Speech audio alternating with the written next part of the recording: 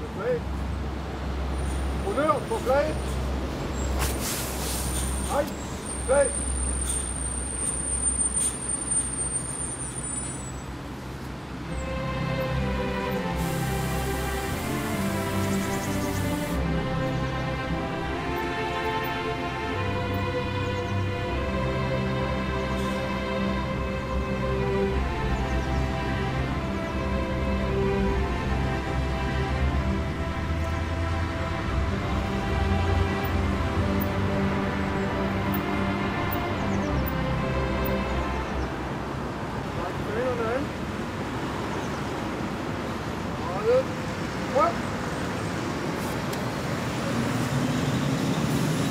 pronto.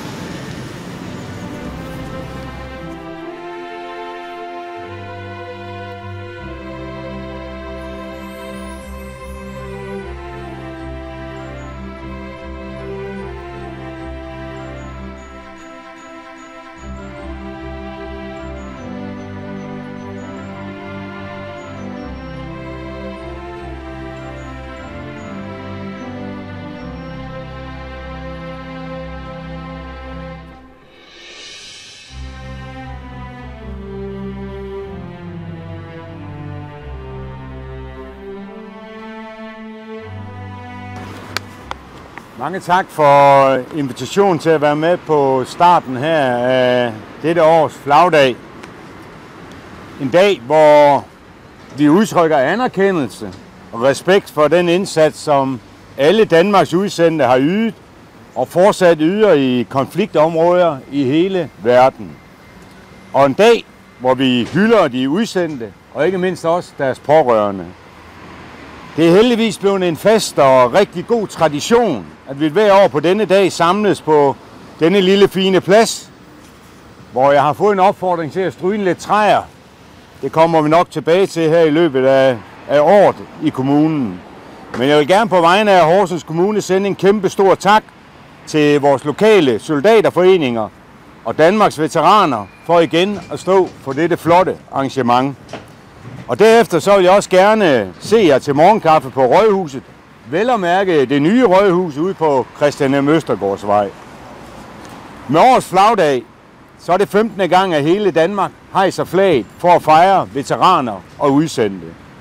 Og dermed så sender vi også en stor tak til mange modige kvinder og mænd, der er og har været udsendt i forsvaret, redningsberedskab, politi, udenrigsministeriet og ikke mindst sundhedsvæsenet. Med andre ord, til alle dem, som har været sendt ud til krige, kriser og katastrofer i verdens brandpunkter, og som har været klar til at hjælpe, når andre har stået i en svær situation.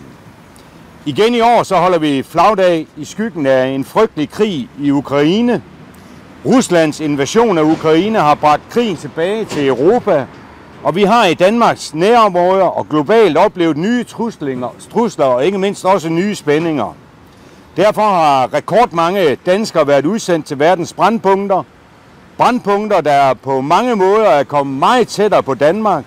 Og derfor har vi også været meget involveret i NATO's beskyttelse af de baltiske lande, fordi Baltikums sikkerhed er lige med Danmarks sikkerhed.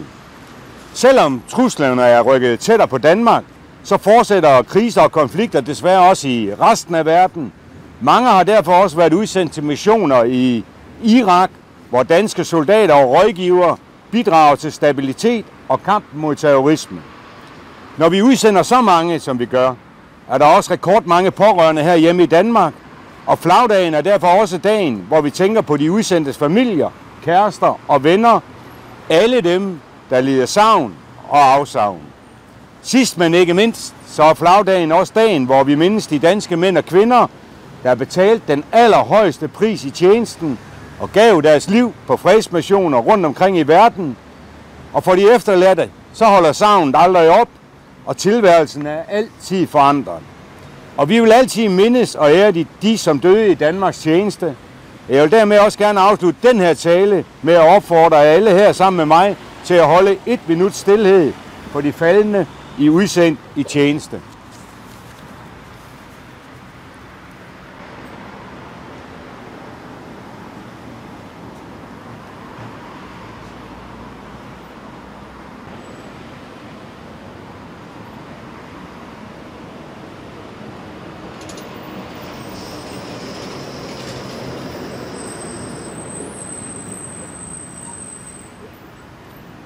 Til orientering, de der skal op til kaffe på Rådhuset.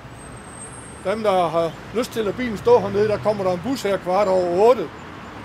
Og den kører tilbage igen kvart i 10. Herned til og afleverer igen.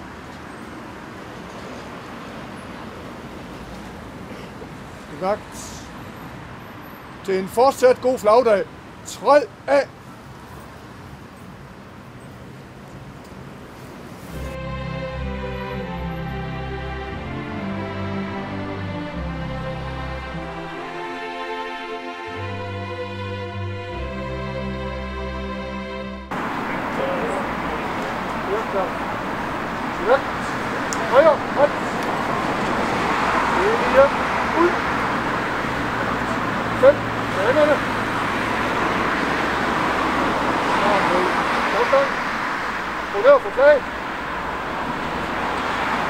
road.